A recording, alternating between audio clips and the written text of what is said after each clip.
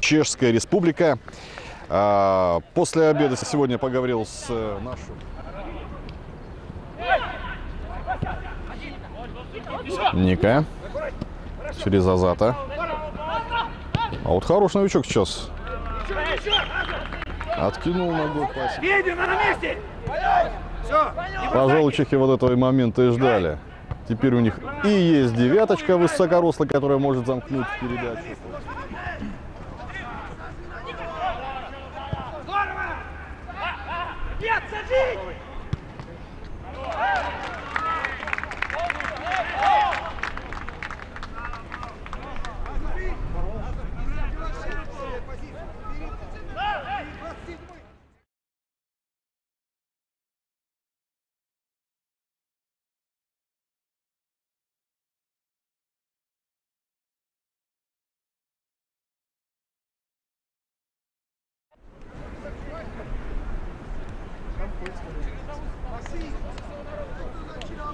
Хорошо, хорошо. Вот сейчас хорошая передача была на вбегающего инсайда.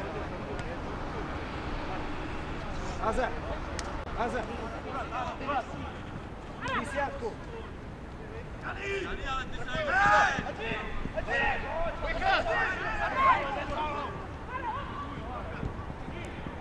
Ах ты ё! Перекрывай! Перекрывай дальше, Аза!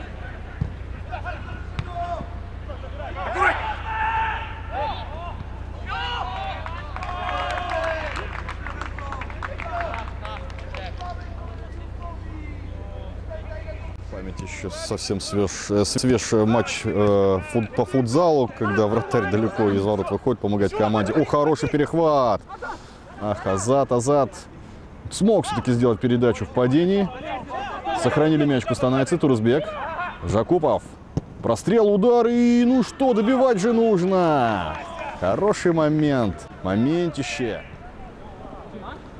Кстати, замена у них произошла. Я смотрю, э, девятый номер, который работал впереди у них, высокорослый, сменил не менее высокорослый игрок под номером 25, но об этом позже, потому что только что удар в сторону ворот делал игрок, находящийся на просмотре, который бегает в майке Бекича. Ну что, будет сегодня подача или нет? Время идет, а судьи сегодня за временем так строго следят, что даже не дают доигрывать атаку. Итак, подача. И мяч уходит, честно говоря, о чем я говорил.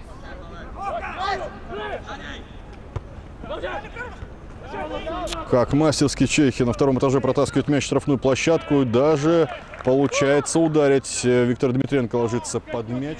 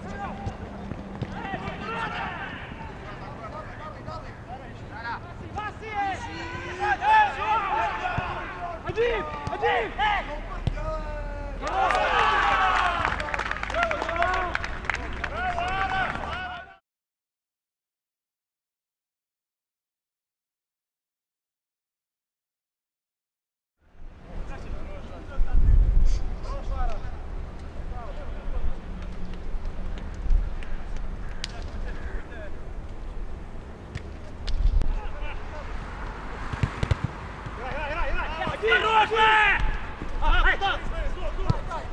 Чисто! Убирай!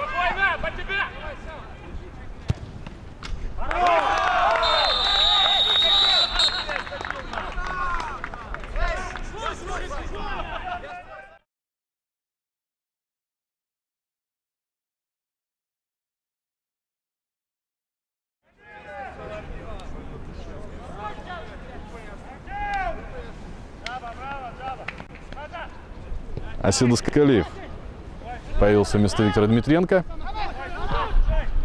Ох, какая хорошая атака проходит у чехов. Но Котляр на месте, однако второй удар. И на этот раз учебно тренировочном сборе сильно не хватало.